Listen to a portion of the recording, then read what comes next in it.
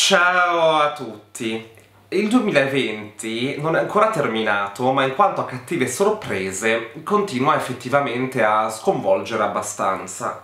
Non so se lo sapete o se avete sentito, ma lo scorso venerdì abbiamo perso quello che ritengo un regista veramente meritevole, cioè un maestro del cinema contemporaneo, che, che ne dicano gli altri, eh, nonché il mio regista preferito in assoluto, più che altro perché lui, a parte aver fatto, realizzato, soprattutto all'apice della carriera, dei, dei lavori straordinari, è stato anche l'uomo che effettivamente ha acceso in me la passione per il cinema, mi ha consentito effettivamente di guardare quanto il cinema potesse essere una forma d'arte meravigliosa. E io sono cresciuto con i suoi film e gli devo tantissimo eh, e la, mm, scoprire appunto che, che, è scomparso è stata una doccia fredda, cioè una notizia abbastanza scioccante. Eh, il regista in questione è Kim Ki-duk, un regista sudcoreano che appunto è scomparso all'età di 59 anni in seguito alla lotta con la malattia che ha sconvolto il mondo quest'anno. Ed è stata veramente una doccia fredda. E, e quindi ho pensato assolutamente di dedicare a lui un video anche per fornire qualche input sulla sua filmografia nel caso non conosciate già sua, i suoi film e vogliate appunto iniziare da qualche parte.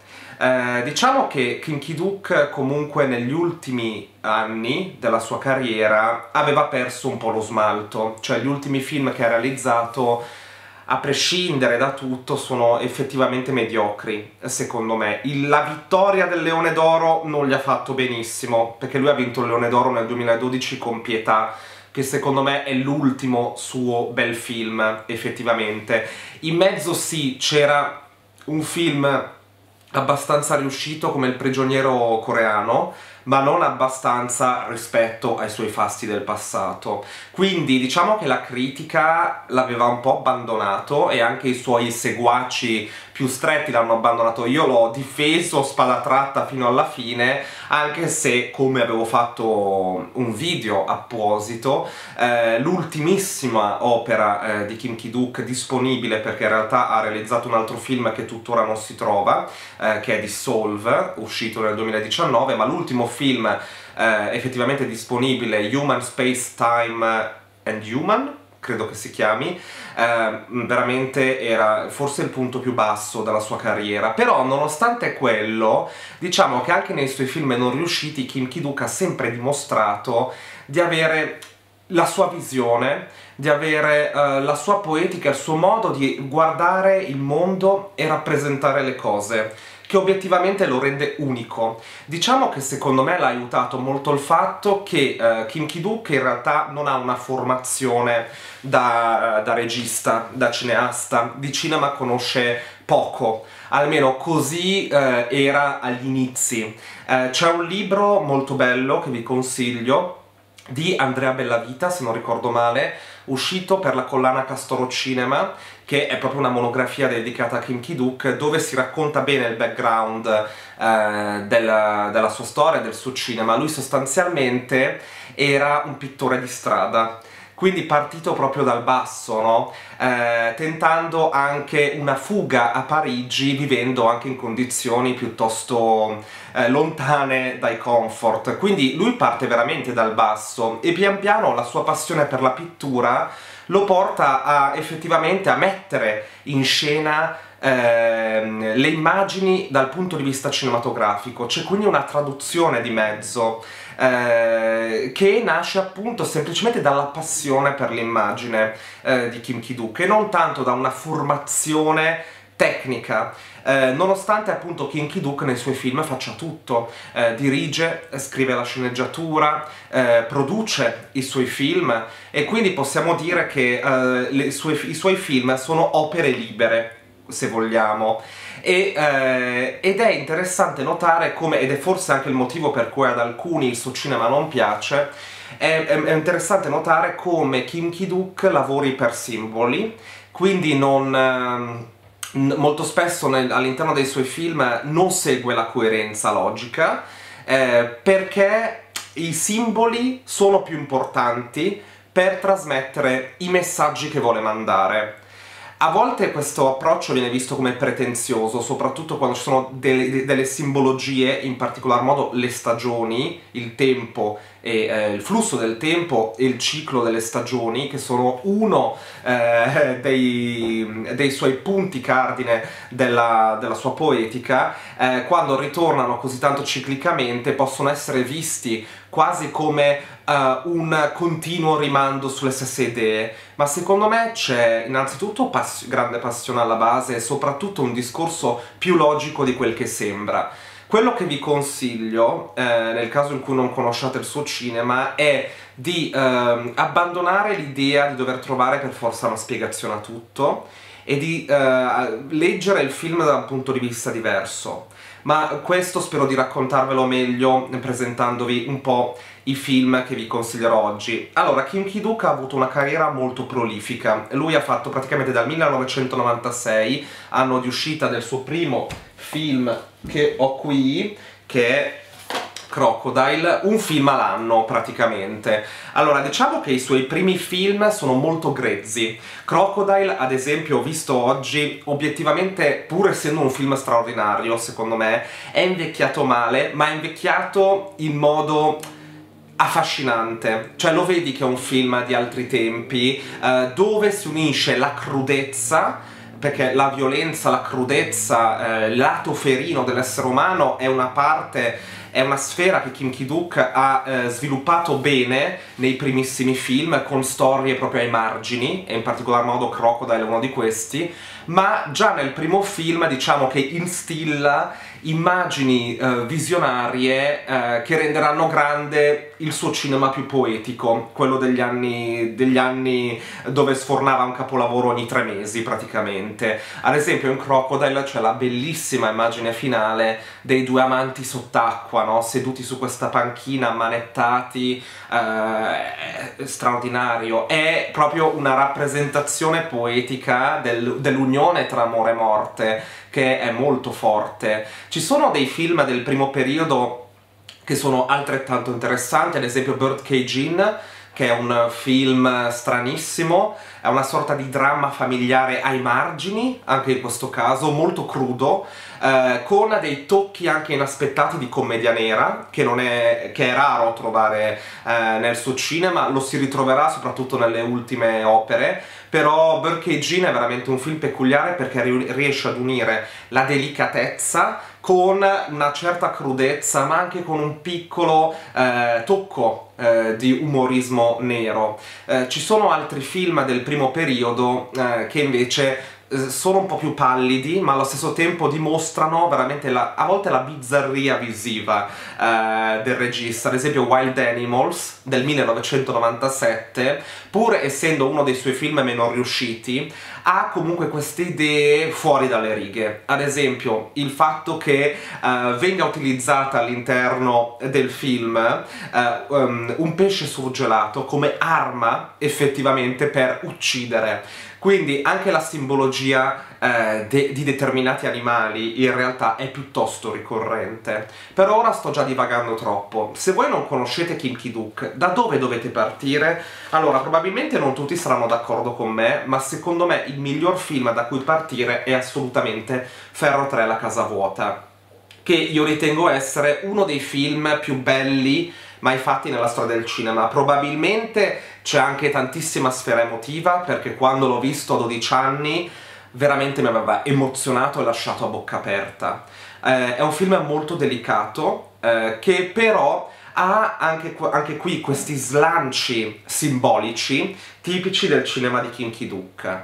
Diciamo che la storia di Ferro 3 la casa vuota è obiettivamente inverosimile, ma Kim Ki-duk, ve l'ho detto, se ne frega della, della verosomiglianza, non è interessante nel suo cinema, è un cinema che lavora di simboli e se voi riuscite ad accettare il suo linguaggio, veramente saprà colpirvi dentro. Io questo film l'ho visto a 12 anni, preso casualmente al blockbuster e ne ero rimasto incantato.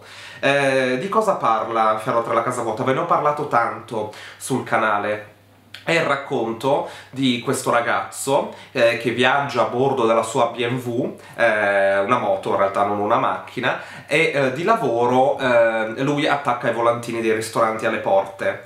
Eh, alle porte delle case. La sera lui eh, rifà lo stesso giro che ha fatto per lavoro e controlla quali case hanno ancora il volantino appiccicato alla porta. In questo modo lui sa che quelle case che hanno ancora il volantino sono vuote e quindi lui si introduce in queste case, eh, forza proprio la serratura e ci vive per una notte e per la mattina seguente. Eh, e attenzione, non è un ladro, eh, ci vive effettivamente come se fosse casa sua, è un uomo senza casa che, diciamo, vive nelle case altrui. E quindi fa, cosa, fa, cose incredibili, si mette a stirare, si mette a riparare gli oggetti rotti, si mette a lavare e pulisce e stira, cioè veramente incredibile, cioè, se, se, cioè eh, in, in, Italia se qualcuno ti entra in casa ti rubano tutto, in Corea evidentemente ti fanno i mestieri, non lo so, io la prima cosa che ho pensato è questa, però mi aveva fatto molto ridere, però in realtà anche qua è simbolica come cosa, è un ragazzo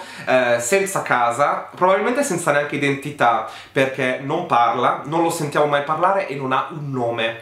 Eh, durante uno di questi viaggi all'interno delle case vuote lui incontra una donna, una donna che in realtà è presente in casa, anche lei eh, completamente ridotta al silenzio, in realtà lei appunto non parla, non si esprime più proprio perché è vittima di un marito molesto eh, che la picchia, abusivo, eh, e eh, appunto è una donna molto ricca che però vive all'interno di questa grande villa completamente in preda al terrore e al, al fatto che il marito costantemente abusa di lei. Quindi diciamo che lui eh, la porta con sé, decide di salvarla e partiranno appunto per questo tour delle case vuote assieme. Eh, e pian piano appunto si instaura una relazione d'amore tra loro basata sul silenzio perché entrambi i personaggi non parlano eh, che sfocerà e di più non vi dico altrimenti faccio spoiler anche se non è un thriller sfocerà però eh, in una problematica che dovranno risolvere che sconvolgerà le loro vite. In una delle case infatti trovano un cadavere e quindi si trovano in un inghippo. Cosa fare? Cosa devono fare? Ok, questo è un po' il succo della questione. Fatto sta che è un film straordinario. È un film straordinario con delle scene che sono entrate anche nell'immaginario poetico del cinema. Pensiamo ad esempio al bellissimo, una scena da brividi con eh, questo gioco, movimenti del corpo, degli sguardi, in cui ci sono marito e moglie davanti, uno davanti all'altro, e lei dice ti amo.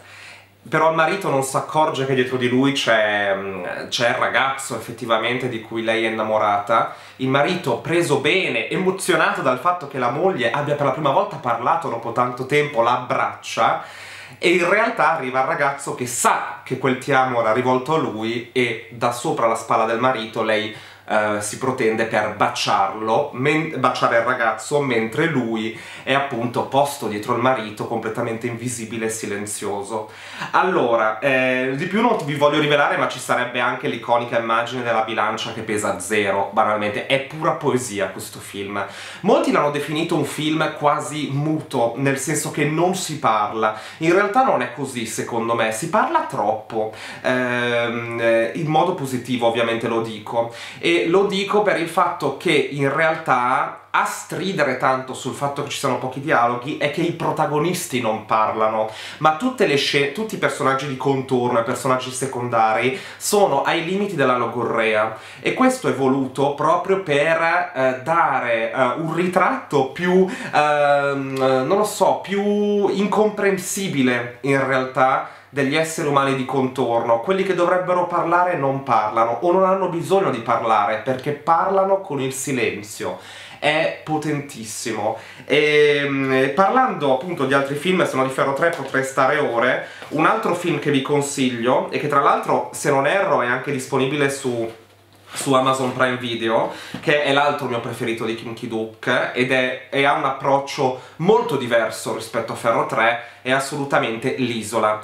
L'Isola è un film eh, del 2000 ehm, che è, diciamo, molto crudo, è forse uno dei più feroci di Kim Ki-duk, nonostante abbia tentato di tornare negli ultimi film come Mebius, banalmente, o Human Space Time and Human, eh, ha eh, quelle tematiche lì di violenza, sopraffazione, anche pietà un po' ritorna in quell'universo lì, ma l'isola secondo me è quello più feroce, anche perché la violenza entra costantemente in contatto con la bellezza, con la poesia. È un film che riesce effettivamente a far coincidere questi due mondi in modo incredibile con questa, ehm, banalmente questa scenografia fenomenale di queste case galleggianti colorate in questo lago eh, dominato dalla nebbia, eh, c'è questo, questo mh, mm, paesaggio che richiama quasi un mondo sovrannaturale occulto, no? Eh, con queste casine eh, tutte in questo,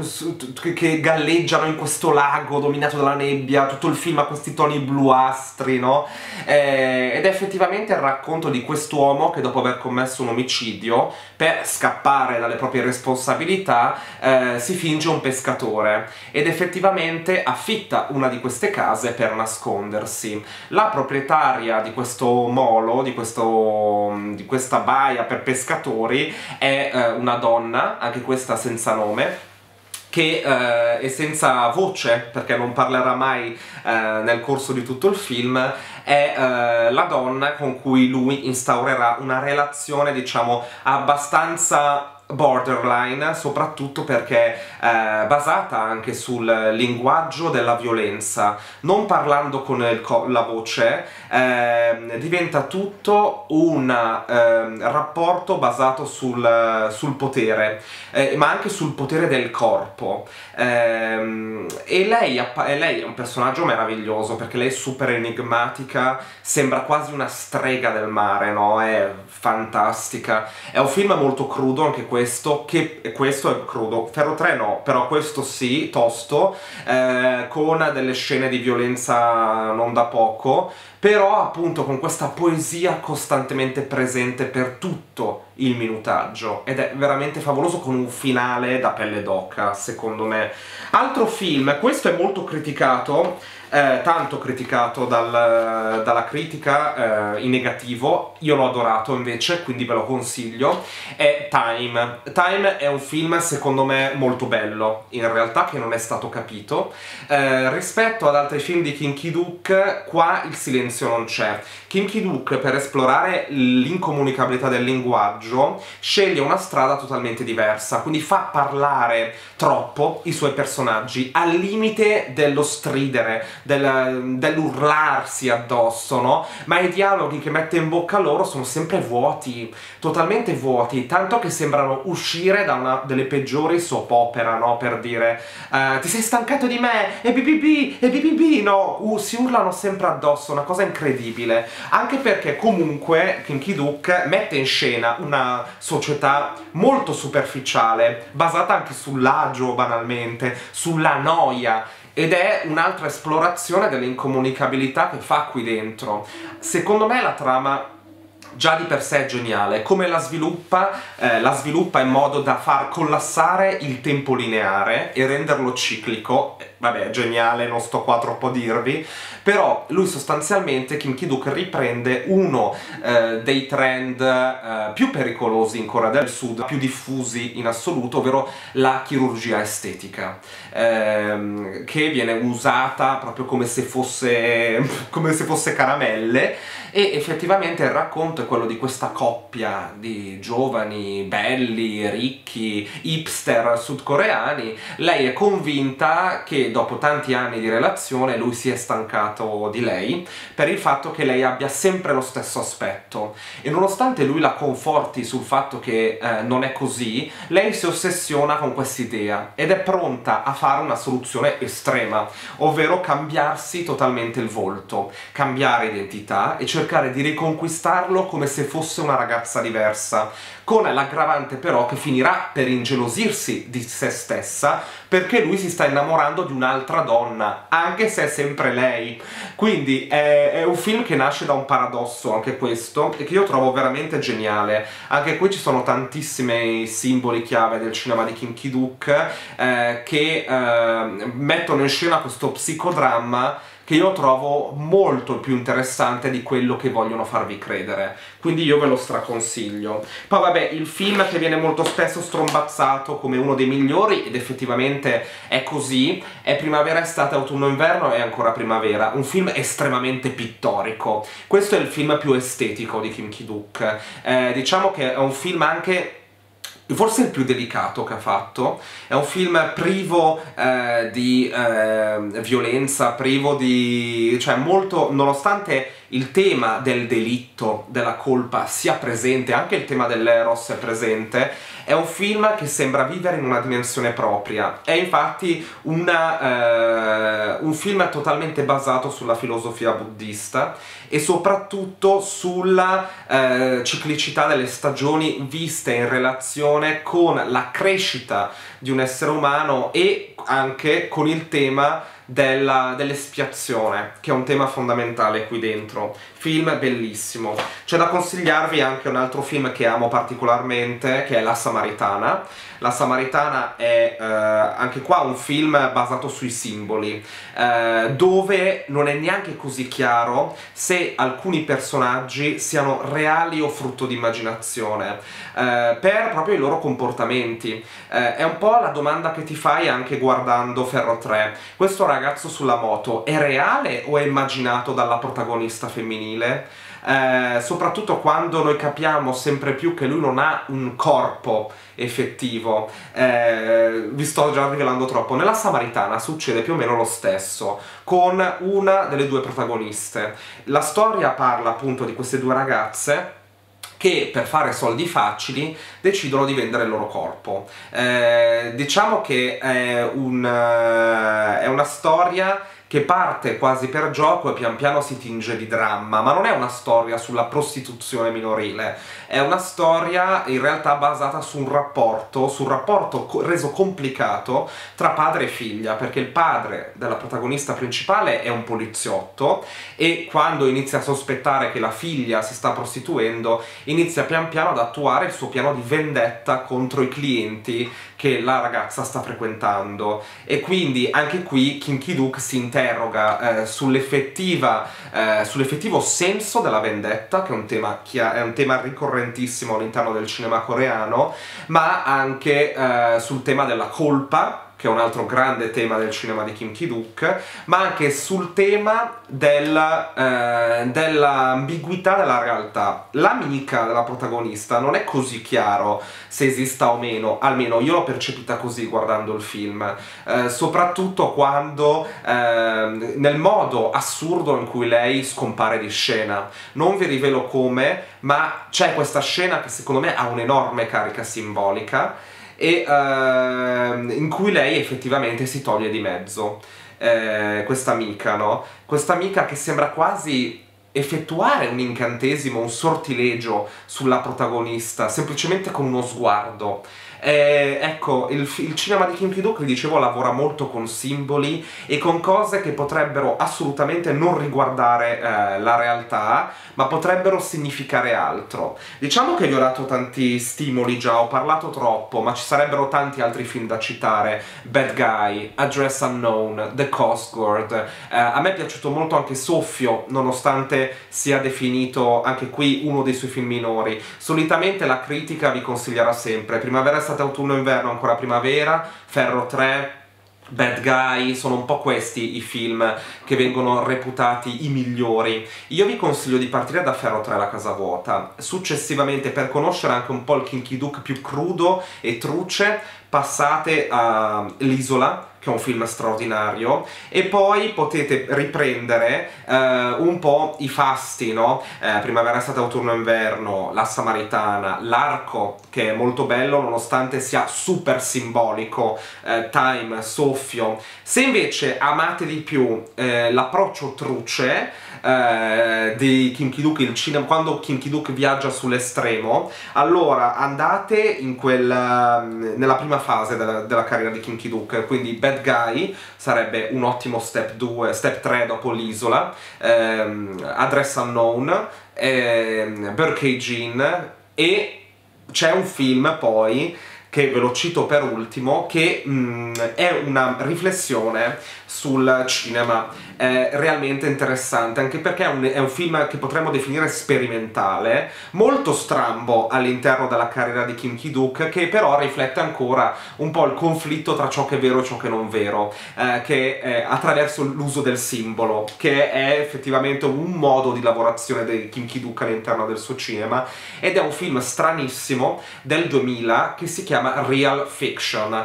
Questo, pur amandolo molto, ve lo farei vedere come ultimo. Quando li avete finiti tutti, eh, concedetevi questo film che spicca per stramberia all'interno della filmografia del regista, però merita, perché mostra quanto in realtà il suo modo di guardare il mondo sia sfaccettato. Ci sono dei film invece che non vi consiglierei, eh, perché li ritengo molto sottotono, eh, però ad alcuni sono piaciuti, quindi vedete voi. Eh, Moebius, innanzitutto, che però tra i film più più meno riusciti di Kinky Duke in realtà il più interessante secondo me è Try Too Hard è un film dove lui ci ha provato troppo voleva essere provocatorio, scioccante con peni che vengono recisi, peni che vengono rubati, non sto scherzando è di cattivo gusto è, è pura exploitation però è più interessante rispetto a One on One che è di una retorica allucinante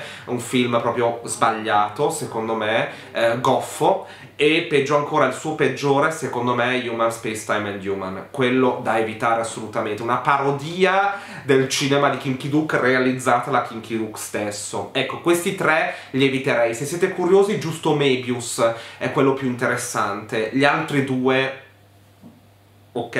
Proprio per ultimissimi, se siete super mega fan, se vi scoprite super mega fan. Ma niente, io ho parlato troppo, spero di avervi un po' eh, instillato un minimo di curiosità sul cinema di Kim Ki-duk, appunto un regista che per me è importantissimo dal punto di vista personale, ma secondo me è un regista che merita di essere riscoperto, nonostante eh, ci siano sempre questi snobboni che dicano che il suo cinema non è così speciale, per me lo è. Eh, fatemi sapere se avete visto qualche suo film già, se vi ho incuriosito, eh, forse questo ne ho parlato in modo troppo cerebrale, però boh, spero di no, spero di, aver, di avervene parlato un po' così alla buona, in modo che eh, possiate voi stessi scoprirlo, perché sperando che appunto accenda la passione eh, per il cinema così come l'ha accesa in me in passato. Quindi fatemi sapere appunto che cosa guarderete, vi piace Kinky Duke, non vi piace, che ne pensate.